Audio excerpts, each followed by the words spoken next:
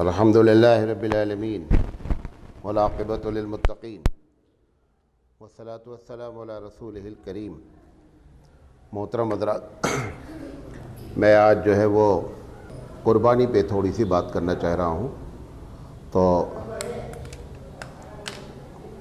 سب سے پہلی بات آج جو میں آپ کے ساتھ کرنا چاہ رہا ہوں قربانی کے بارے میں، یہ واٹس اپ پہ مستقل جو ہے وہ باتیں آ رہی ہیں۔ اور الگ الگ انداز میں لوگ سوالات کر رہے ہیں۔ تو آج ہم جو بھی اس ٹاپک پر بات کرنا چاہ رہے ہیں وہ یہ ہے کہ یہ ہم کسی کی جان لیتے ہیں قربانی میں۔ تو سوال یہ اس نے کیا ہے کہ یہ کیا کیا بات ہے کہ ہم کسی کی جان لیں اور آپ کو اس کے بدلے میں ثواب ملے۔ ایک ایک کی جان جائے اور آپ کو ثواب ملے۔ تو یہ اس کے پیچھے کیا راز ہے؟ تو ایک بات تو چونکہ اللہ کے رسول صلی اللہ علیہ وسلم کی حدیث بھی ہے۔ کہ ان دس دنوں میں خون بہانے سے زیادہ کوئی بھی عمل افضل نہیں ہے۔ تو ابھی میں نے بیلگام میں بھی اس پہ بات کی۔ تو وہی بات آج ہم آپ سے کرنا چاہ رہے ہیں کہ یہ قربانی ثواب کیسے ہے۔ پوری بات ہم کریں گے۔ ہم اللہ سے دعا کرتے ہیں کہ اللہ تعالیٰ ہم کو صحیح بات کہلائے اور آپ کو صحیح بات سمجھنے کی توفیق عطا فرمائے۔ دیکھیے دنیا میں دو طریقے کے مذہب پائے جاتے ہیں۔ کتنے طریقے کے؟ دو طریقے کے مذہب پائے جاتے ہیں۔ ایک مذہب ایسا ہے کہ جس کو انسان نے بنایا ہے۔ انسان کا بنایا ہوا مذہب ہے، جیسے جین مذہب ہے، بودھ مذہب ہے، سکھ مذہب ہے۔ ان کا دعویٰ نہیں ہے اپنے مذہب کے بارے میں کہ یہ ہمارا مذہب ریویلڈ بائی اللہ ہے یعنی اللہ کی جانب سے وہی آئی ہے، ایسا ان کا دعویٰ نہیں ہے۔ دوسرا مذہب ایسا ہے جس میں بنیادی طور پر عیسائیت ہے، یہودی ہے اور مسلمان ہیں ان کا دعویٰ ہے کہ نہیں صاحب، ہمارا جو مذہب ہے، یہ مذہب آسمانی مذہب ہے۔ ہم جو کتاب پڑھتے ہیں یا جس کتاب کے ہم دعوے دار ہیں یہ کتاب جو ہے نا وہ اللہ کی کتاب ہے، یہ انسانی لکھی کتاب نہیں ہے۔ تو گویا کہ دو طریقے کے مذہب ہو گئے۔ جتنے مذہب ہیں قرآن کریم کی روشنی میں اور احادیث کی روشنی میں، آدم علیہ السلاۃ والسلام کے بیٹے نے سب سے پہلے قربانی دی۔ اس قربہ قربانا فتقبلا من احدیمہ ولم یتقبل من الآخر یہ قرآن مجید کی آیت ہے کہ دونوں بیٹوں نے آدم کی قربانی دی اور ایک کی قربانی اللہ نے قبول کر لی ہے اور دوسرے کی قربانی قبول نہیں ہوئی۔ تو اس سے یہ پتہ چلتا ہے کہ قربانی کی جو تاریخ ہے، اس کا جو اتہاس ہے، وہ بہت پرانا ہے۔ تو سب سے پہلے جن لوگوں کو اعتراض ہے قربانی پر، اس کا ہم جواب دیں گے اور پھر ہم یہ بات بتانا چاہیں گے کہ قربانی ہمارے نزدیک عبادت کیسے ہے کہ ہم جان کسی کی جائے اور وہ عبادت بن جائے؟ اس پر ہم بات کریں تو گویا تقریر کے دو حصے ہو گئے۔ پہلا تو وہ لوگ جو لوگ اس کو جیو ہتیا کہتے ہیں اور کہتے ہیں کہ بے رحمی ہے، ہم ان سے بات کرنا چاہتے ہیں۔ سب سے پہلے یہ تینوں جو مذاہب کے میں نے نام لیے، عیسائی مذہب اور اسلام اور یہودیت، ان سب میں قربانی ہے اور ان کا اعتراض نہیں ہے یہ۔ یہ الگ بات ہے کہ ان کے ماننے والے اپنے مذہب سے نکل گئے ہوں اور وہ اعتراض کر رہے ہیں، وہ ایک الگ مسئلہ ہے۔ لیکن بحیثیت یہودیت نسانیت یا اسلام کے ماننے والے جو ہے، وہ اس کو جو ہتیا نہیں مانتے ہیں۔ جو ہتیا ماننے والے دو قسم کے لوگ ہیں۔ ایک تو وہ لوگ ہیں جن کا ہے کہ دنیا میں کوئی مذہب ہی نہیں ہے، یہ تم لوگوں نے اپنے طور پہ بنا رکھا ہے۔ وہ اپنے آپ کو بے مذہب والا، جس کو آپ ناستک کہہ لیں، دہریہ کہہ لیں، خدا کا انکار کرنے والا کہہ لیں یہ ایک گروپ ہے۔ یہ گروپ کا کہنا ہے کہ نہیں صاحب، یہ نہیں ہونا چاہیے۔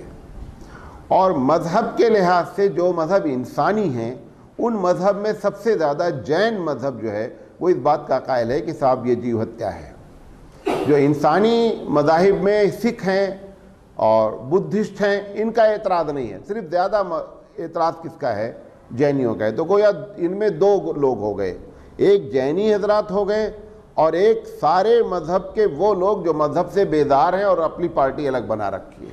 ان کا اعتراض ہے کہ یہ صاحب یہ جان لینا ہے، بے رحمی ہے، ایسا نہیں ہونا چاہیے۔ سب سے پہلے ہم ان لوگوں سے بات کرتے ہیں جو جان رحمی، جو کہتے ہیں کہ یہ بے رحمی ہے۔ سوال یہ ہے کہ جان کسے کہتے ہیں؟ جان کا نام، معنی کیا ہے؟ نبی کریم صلی اللہ علیہ وسلم کے زمانے میں چودہ سو پچاس، ساٹھ سال پہلے کی بات بتا رہا ہوں کہ ان کے زمانے میں بھی کھجور کے درخت عورت اور مرد ہوتے تھے میل فیمیل ہوتے تھے۔ ایک کھجور کا درخت ہوتا تھا مرد اور ایک کھجور کا درخت ہوتا تھا، ہوتی تھی عورت۔ ان دونوں کو ملایا جاتا تھا اور اس کے بعد کھجور ہوتی تھی۔ تو پتہ چلا کہ اگر کراس کا سسٹم درختوں میں موجود ہے تو جان موجود ہے۔ کیا ہے؟ جان موجود ہے۔ یہ ایک الگ بات ہے۔ کہ کچھ لوگوں کی جان ایسی ہے جو اپنے آپ کو دماغ بھی رکھتے ہیں اور زبان بھی رکھتے ہیں، جیسے ہم لوگ ہیں۔ کچھ ایسی جانیں ہیں جو دماغ کچھ نہیں رکھتی، زبان بھی نہیں رکھتی، لیکن آنکھ، ناک، کان سب کچھ ہے، جیسے جانور ہیں۔ کچھ ایسے ہیں جو نہ آنکھ ہے، نہ کان ہے، نہ دماغ ہے، پھر بھی جان ہے، جیسے کھجور کا درخت۔ اب کھجور کے درخت کے بارے میں تو چودہ سو پچاس سال پہلے کی بات ہے۔ اب سائنس نے یہ سب کے بارے میں تحقیق کر دیا کہ جتنے بھی چھوٹے سے چھوٹا پودا ہو، سب میں جان موجود ہے۔ حتیٰ کہ ابھی جو کوشش چل رہی ہے کہ جب یہ دھان کے پودے بارش نہیں ہوتی ہے، تو نہایت غمگین ہو کر کے روتے ہیں۔ اور رونے سے ان کی ایک آواز نکلتی ہے، لیکن ابھی کوئی فریکوینسی ہمارے پاس نہیں آ پا رہی ہے کہ ان کے رونے کی آواز کو پکڑ لیا جائے۔ اور جب ان کو پانی ڈال دیا جاتا ہے، تو خوب کھلکھلا کے ہنستے ہیں۔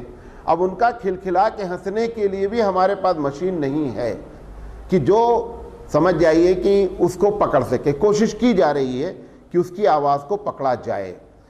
تو پتہ چلا کہ اگر پودے جن کی زبان نہیں ہے، جن کو دماغ نہیں ہے، جان تو موجود ہے اور اصل تکلیف نہ تو دماغ کو ہوتی ہے اور نہ زبان کو ہوتی، اصل تکلیف کس کی ہوتی ہے؟ جان کو ہوتی ہے، جس کو آپ اسپرٹ کہہ لیں، روح کہہ لیں، تکلیف تو اس کو ہوتی ہے۔ تو رہا جان لینے کا معاملہ، تو ہم انسان اپنی جان بچانے کے لیے جان لینا لازم ہے۔ جب تک آپ جان نہیں لیں گے، آپ اپنی جان نہیں بچا سکتے۔ آپ کسی وقت دہی دہی کے پیالے کو اگر آپ مشین سے، جس سے بچے لیب میں ٹیسٹ کرتے ہیں، اگر اس کو لگا کے دیکھیں تو ڈھائی سو گرام میں کم سے کم بیس ہزار کیڑے ہوتے ہیں۔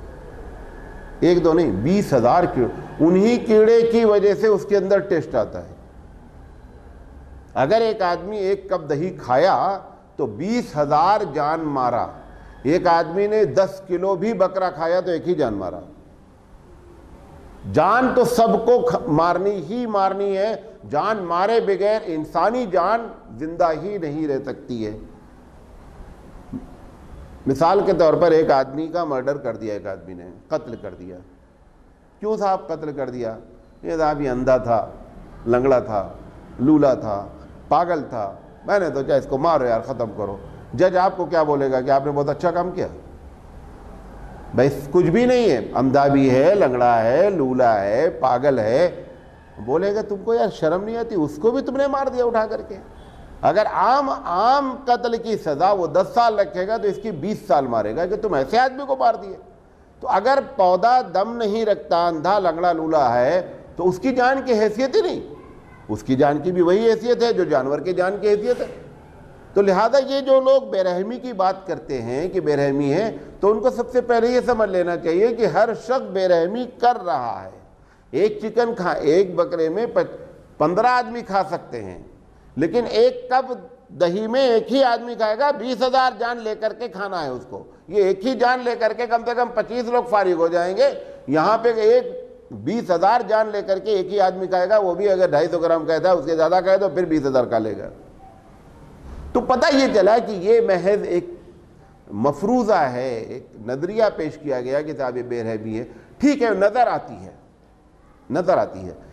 میں ایک دوسری مثال دیتا ہوں۔ ایک آدمی کو آپ نے انجیکشن لگا دیا اور وہ انجیکشن سے پورا بدن اس کا کیا ہو گیا؟ بے ہوش ہو گیا۔ اس کو ذبح کر دو۔ تکلیف کچھ بھی نہیں ہوگی، لیکن جان جائے گی کہ نہیں جائے گی۔ مرڈر نہیں کہلائے گا۔ یعنی جب میں نے اس کو مارا تو کوئی تکلیف نہیں ہوئی، نہ تڑپان، کچھ نہیں کچھ نہیں ہوا۔ ڈاکٹر پورا آپریشن کر دیتا ہے۔ کرتا نا پورا آپریشن کر دیتا ہے۔ تو اگر ایسے آدمی کو انجیکشن مار کر قتل کر دے کوئی آدمی اور پھر کہتا اب اس کو کوئی تکلیف نہیں ہو لہذا قتل کیوں ہے؟ اس کے باوجود قتل کی سزا مانی جائے گی اور قتل مانا جائے گا۔ ایسے ہی وہ اگر تڑپ نہیں رہا ہے، لیکن جس دن اس کے تڑپنے کو ریکارڈ کر لیا جائے گا، تو آپ جیسے دھان کاٹیں گے، اگر وہ مشین کی فریکوینسی آ گئی، تو اس کے چیخنے اور چلانے سے حالت خراب جائے گی لوگوں کی۔ اور وہ آنی ہے۔ بہت جلد آنی ہے، وہ اس بات کو پکڑنے کی پوری کوشش کی جا رہی ہے کہ ان کا رونا، ان کا ہنسنا سب کچھ پکڑا جائے۔ لہذا یہ سب سے پہلی بات دماغ سے نکال دیں کہ جان ماری جا رہی ہے، لہذا بے رحمی ہے۔ جان سب مارتے ہیں۔ یہاں تک بات سمجھے؟ اچھا۔ اب میں مذہب والوں سے کہتا ہوں، جو بعض مذہب والے کہتے ہیں، جیسے ہندوازم ہے کتاب وہ کہتا ہے، یہ بہت بڑی جیو ہتیا ہے اور مسلمان ایسا کرتے ہیں۔ وہ سب کو کہتے ہیں، کرسچن کو بھی کہتے ہیں، سب کو۔ میں ان سے دو باتیں کرنا چاہتا ہوں۔ پہلی بات تو یہ ہے کہ کیا ان کے مذہب میں جیو ہتیا نہیں ہے؟ درگا پوجا بنگال کا تہوار تھا اور چھا گیا پورے بھارت میں۔ ہزاروں ہزاروں بکرے بنگال میں درگا پوجا کے نام پر کاٹ دیے جاتے ہیں۔ وہ بھی اپنے آپ کو ہندو کہتے ہیں کہ میں بھی ہندو ہوں۔ تو اگر آپ اپنے مذہب کی بات کرتے ہیں تو آپ کے مذہب میں بھی قربانی ہے، بلی ہے۔ اس کو بلی کہتے ہیں، قربانی ان کے یہاں بھی موجود ہے۔ اچھا اور اگر آپ یہ مانتے ہیں کہ ہمارے بڑے لوگ ہیں رام چندر جی بہت اچھے آدمی ہیں، ہم ان کا احترام کرتے ہیں۔ رام چندر جی نے جس وقت جنگل چھوڑا ہرن کو مارنے کے لیے، اسی وقت سیتا جی کڈنیپ ہوئی ہیں۔ آج بھی لکھا ہوا ہے رامائن میں۔ کہ سیتا جی کا جو ہے اپہرن جو کیا گیا کڈنیپ جو کیا گیا، اس وقت رام چندر جی گھر میں موجود نہیں تھے اپنی کٹیا میں، اور وہ شکر کا شکار کرنے گئے تھے کس کا؟ ہرن کا۔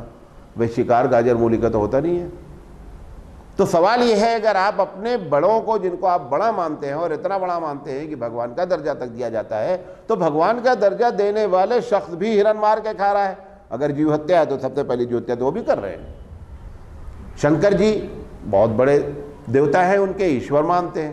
شنکر جی کا جب کپڑا دکھلایا جاتا ہے تو ہمیشہ چمڑے کا لباس پہنا دکھلایا جاتا ہے۔ وہ چمڑا کہاں سے آتا ہے تو پتہ یہ چلا کہ آپ کے یہاں بھی مذہب میں اس قسم کی باتیں موجود ہے اچھا اب میں ان لوگوں سے کہنا چاہتا ہوں جو اپنے آپ کو مذہبی بنتے ہیں، کرسچنوں، اور وہ سمجھتے ہیں، جانتے ہیں کہ ہم کو ہمارے رب نے پیدا کیا ہے۔ سوال یہ ہے تین طریقے کے دانت پائے جاتے ہیں دنیا میں۔ ایک دانت ایسا ہے جو گھاس کھا سکتا ہے، گوشت نہیں کھا سکتا۔ جیسے بکری ہے، بکری کو آپ گوشت دے دیجیے، بکری گوشت نہیں کھا سکتی۔ تو اس کے دانت ہی ایسے ہیں کہ وہ گوشت کھانے کے لائق نہیں ہے۔ تو پتہ چلا مالک نے اس کو شاکاہاری رکھا ہے، مانساہاری نہیں رکھا ہے۔ لہذا وہ گھاس کھا رہی ہے۔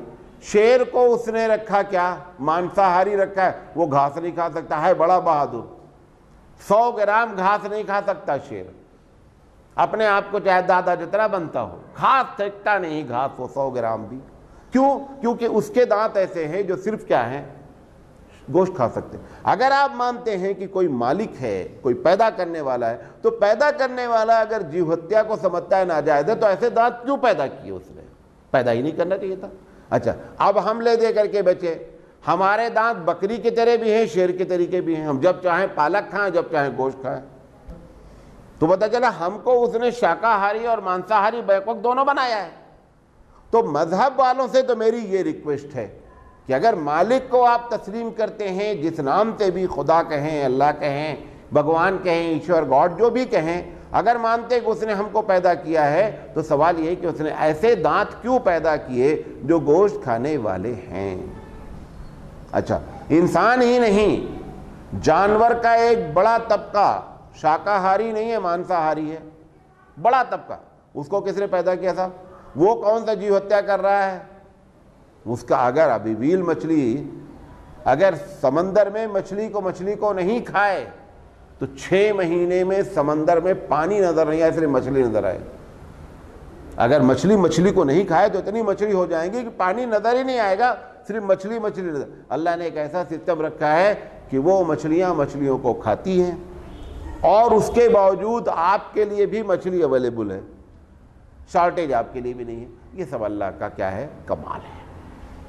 اب ہم جو دوسری بات آپ سے کرنا چاہ رہے ہیں وہ یہ ہے کہ صاحب یہ کیا معاملہ ہے کہ ایک چیز کی جان جائے اور آپ کہیں کہ صاحب ہم کو بڑا ثواب مل رہا ہے۔ اللہ کے رسول فرمائیں کہ ان دس دنوں میں احراق دم سے بہتر کوئی عمل نہیں ہے۔ یہ بات اگر میں اپنی سمجھا لے جاؤں یہاں سے جو کرنا چاہ رہا ہوں، تو بڑی بات آپ کو سمجھایا میں نے۔ دیکھیں، جتنی بھی مخلوق اور سے سنیں، جتنی بھی اللہ کی مخلوق ہے، چاہے وہ انسان ہو، چاہے وہ جانور ہوں قرآن مجید نے سب کے بارے میں کہا ہے کہ کل قد علی مسلات ہو و تصبیح ہو کہ جتنے بھی جانور ہیں، سارے جانور اپنے اپنے طرز پر نماز پڑھتے ہیں۔ یعنی عبادت ان کا بھی شوق ہے۔ ان کا بھی شوق کیا ہے؟ عبادت ہے۔ ان کا بھی شوق تسبیح پڑھنا ہے۔ کیسے تسبیح پڑھتے یہ ایک الگ بیٹر ہے۔ ہمارے ہاں مفتی شفیع علیہ الرحمٰن نے ایک مثال دی ہے۔ پہلے زمانے میں تار مارا جاتا تھا ٹیلی گرام۔ ٹیلی گرام اگر آپ لوگوں نے دیکھا ہے کسی نے، تو ایک چھوٹی سی مشین ٹیبل پہ لگی ہوتی تھی۔ اس کو بیٹھ کر کے ایک آدمی ایسے ایسے مارتا تھا۔ وہ جس کا ایڈریس ڈال دیتا تھا، وہاں پر آواز بچتی تھی، وہاں ایک آدمی بیٹھا رہتا تھا۔ اور اس آواز، آپ اگر کھڑے ہیں یہاں تو آواز ایک طریقے کے نظر آئے گا، وہ سننے والا پورا مضمون لکھتا تھا کہ یہ ٹار کیا کہہ رہا ہے۔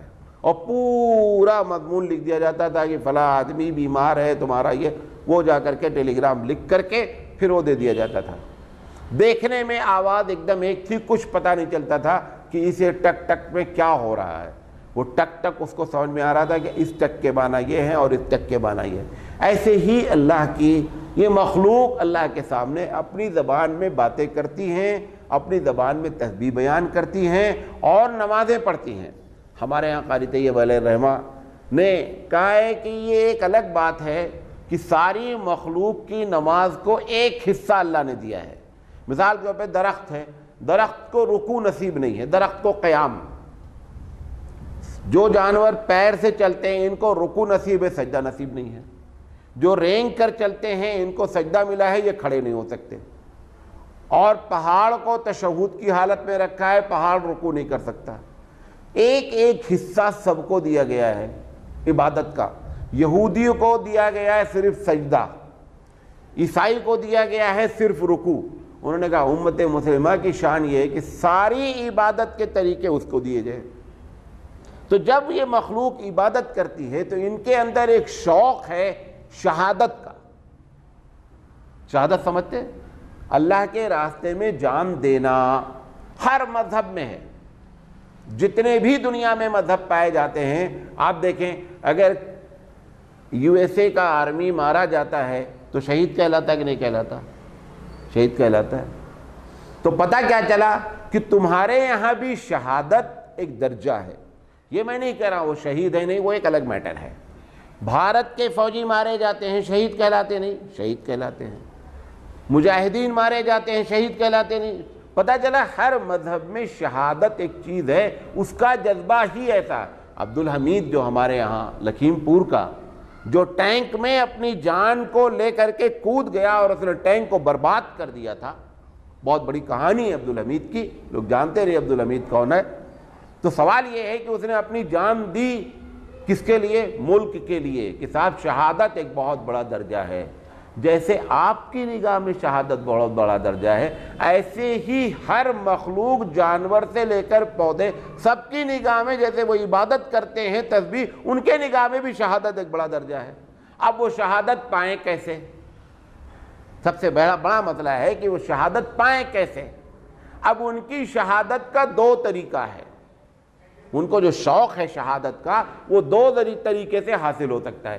ایک تو یہ کہ جس وقت جس کے لیے تم کو پیدا کیا ہے، ان کے تو کام آ جا۔ ہم اللہ کے دین کے لیے پیدا ہوئے ہیں۔ وہ کہتا ہے کہ ان اللہ اشترى من المؤمنین انفسهم واموالهم بان لهم الجنہ۔ یقاتلون فی سبیل اللہ فیقتلون ویقتلون۔ کہ وہ لوگ جو اللہ کے راستے میں جان اور مال، اللہ کہتا ہے میں نے تمہارے جان اور مال کو خرید لیا۔ اور وہ جان مال خریدا ہے کیونکہ تم اللہ کے راستے میں اپنی جان دیتے ہو، جان لیتے بھی ہو۔ تو پتہ یہ چلا کہ جان دینا اللہ کے لیے، اللہ کے حکم کے مطابق یہی شہادت ہے۔ اب جب اس جانور کو یہ بتا، آپ کو نہیں بتا پا رہا جانور کو یہ بات معلوم ہے کہ میں انسان کے کام آ جاؤں، یہ میری شہادت ہے۔ لہذا یہ اس کے لیے جان دینا اس کی شہادت ہے، وہ بہت خوش ہوتا ہے کہ مجھے شہادت تک اس انسان نے پہنچا دیا۔ ورنہ میں شہادت کے درجے کو نہیں پہنچ سکتا تھا۔ اب آپ کو دلیل دے رہا ہوں۔ صحیح حدیث ہے، حبیب مصطفیٰ صلی اللہ علیہ وسلم نے سو اونٹ قربان کیے حج کے موقع پر۔ ترسٹھ اپنے ہاتھوں سے کیا اور سینتیس حضرت علی رضی اللہ تعالیٰ انہوں نے کیا۔ حدیث میں آتا ہے کہ ایک اونٹ کو جب اللہ کے رسول نہر کرتے تھے اونٹ کے لیے ذبح کا لفظ استعمال نہیں ہوتا، عربی میں نہر کا لفظ استعمال ہوتا وہ ایک اونٹ کو جب نہر کرتے تھے، تو دوسرا اونٹ لا کر کے اپنی گردن اللہ کے رسول کے سامنے پیش کرتا تھا۔ کسی اونٹ کو پیچھے سے ہانک کے لانا نہیں پڑا، مذبح تک جہاں دبا کیا جا رہا۔ کیوں؟ کیونکہ یہ اللہ کے رسول کا موجدہ بھی ہے اور اسے معلوم ہے کہ میں شہید ہونے جا رہا ہوں، لہذا وہ شرف حاصل کرنا چاہ رہا ہے کہ میں رسول کے ہاتھوں شہید ہو جاؤں۔ جیسے آپ کو شہادت کا شوق ہے، ایسے ان کو بھی شہادت کا شوق ہے۔ اس وجہ سے یہ کہا جا رہا ہے کہ صاحب، یہ احراق دم ثواب کا کام ہے۔ بات سمجھے میری؟ نمبر ایک۔ نمبر دو۔ دوسرا شہادت یہ ہے کہ آپ انسان کے کام آ جائیں کیونکہ آپ انسان کے لیے پیدا ہوئے ہیں۔ ہم کو بھی اس پر بڑی خوشی ہے۔ کہ ہم اللہ کے دین کے کام آ جائیں، بھلے جان چلی جائے۔ اسی لیے آپ کا نام شہید رکھا جاتا ہے جب آپ دین کے کام میں آ جاتے ہیں۔ ایسے اس کو بھی ہے کہ اگر میں اللہ نے جس کے لیے مجھے پیدا کیا انسانوں کے لیے، اگر میں ان کے کام آ جاؤں تو یہ میرے لیے بہت بڑے شرف کی بات ہے کہ مجھے اس کام پہ لگا کر کے اللہ تعالیٰ نے مجھے شہادت کا درجہ عنایت فرما دیا۔ اب یہ ابراہیم علیہ السلام نے جو قربانی کی قربانی تو ابراہیم نے بیٹے کی کی۔ تیسری بات کر رہا ہوں، یہاں تک بات ختم ہو گئی۔ تیسری بات کر رہا ہوں۔ ہونا یہ چاہیے تھا کہ بیٹے کی قربانی ہی رکھنی چاہیے تھی۔ صحیح معنی میں دیکھا جائے، یہ کوئی بات نہیں ہوئی کہ بیٹا تو بڑا عزیز اور تم اس کے بدلے میں جان دلا دو، جانور کی۔ اور کہو صاحب میں نے قربانی دی ہے۔ یہ ایسا اللہ تعالیٰ نے کیوں کیا؟ حضرت تھانوی رحمت اللہ علیہ فرماتے ہیں اگر ماں اپنے بچے کو چاہتی ہے، جیسا آپ یقین رکھتے ہیں، چاہتی نہیں چاہتی۔ اگر ماں سے بچہ یہ کہے کہ امی، آپ جو مجھ سے پیسے مانگ رہی ہیں کہ ایک لاکھ روپے مجھے چاہیے، میں لا سکتا ہوں، لیکن لوگ کہہ رہے ہیں کہ ایک لاکھ روپے اس وقت کہہ تم کو شوٹ کر دیں گے، تب ہم پیسہ دے دیں گے۔ تو ماں کہے گی، بیٹا، میں ایک پیسہ بھی نہیں چاہیے، تیری جان نہیں جانی چاہیے۔ ہاں؟ اس کی محبت کا تقاضا ہے کہ تیری جان کی حفاظت کرے۔ اب اللہ محبت کرتا اپنے بندوں تو وہ کیسے کہے کہ تم جان دے دو؟ ایک طرف محبت محبت اللہ، ماں سے زیادہ۔ اگر ماں اس بات کو پسند نہیں کرتی کہ میرا بچہ جان دے دے میرے لیے، تو ایسے ہی پروردگار عالم بھی اپنے بندوں سے چونکہ محبت کرتا ہے، لہذا اس نے آپ کے بچوں کی قربانی کو رحم کے بنیاد پر معاف کیا، کیونکہ وہ آپ کے ساتھ شفقت اور رحم کیا ہوا ہے۔ لیکن اگر ماں کی جان پر بن جائے مطلب ایک آدمی ماں کی عزت سے کھیلنے لگا، ماں کو کیا کہتے ہیں، مارنے پر تو لایا تو ماں اگر ہاتھ پیر کھلے ہوں گے تو کیا بولے گی؟ بیٹا جان لڑا دینا لیکن میری حفاظت کرنا۔ وہی جو تیری جان چاہ رہے لیکن اپنے جان کے لیے کیا کر دیا اس نے؟ کہ جب اس کی عزت پر آگے تو کہہ رہے بیٹا جان لگا دینا اور میری حفاظت کرنا۔ اب پروردگار عالم نے اپنے دین کے لیے کہا کہ میرے لیے تو میں محبت کے تقاضے میں میں نے تم کو معاف کیا۔ کہ میں تم سے محبت کرتا ہوں، میں نہیں معاف نہیں کیا، بلکہ میں تم سے محبت کرتا ہوں۔ یہ محبت کا تقاضا ہے کہ میں تمہارے بیٹے کی جان نہیں چاہتا، کیونکہ میری محبت اس بات کی متقاضی ہے۔ لیکن جب اس کے دین کی بات آ جاتی ہے، تو کہتا ہے کہ اب جان لگا دینا، اس لیے وہ سب سے زیادہ شہادت کے درجے کو ثواب دیتا ہے۔ اب جب معاملہ اس کی ذات کا آتا ہے، تو رحمت کام آتی ہے۔ اور جب اس کے دین کا معاملہ آتا ہے، تو کیا ہے؟ تب معاملہ یہ ہے کہ جان دے دینا، یہی ساری دنیا کی شہادت کی پالیسی ہے۔ کہتے ہیں ملک کی بات آ جائے گی تو جان لڑا دیں گے۔ کہتے نہیں کہتے۔ پتا چلا کہ آپ جب ملک کا سامنا ہو جائے گا تو ہم جان لڑا دیں گے۔ ایسے ہی پروردگار عالم اپنے دین کے لیے جان مانگتا ہے، اپنی ذات کے لیے جان نہیں، اس کی رحمت کا تقاضا۔ ہونا تو یہی چاہیے تھا۔ محتانی رحمۃ اللہ علیہ کہتے ہیں کہ اگر یہ آدمی اس طریقے سے قربانی کرے تو ایسے ہی اس کو قربانی کا ثواب ملے گا جیسے بیٹے کی قربانی کا ثواب ملتا ہے۔ لیکن یہ نیت ہونی چاہیے۔ اس بنیاد پر اللہ کے رسول فرما رہے ہیں کہ اس دس دن میں اللہ کو احراق دم سے زیادہ کوئی چیز محبوب نہیں ہے۔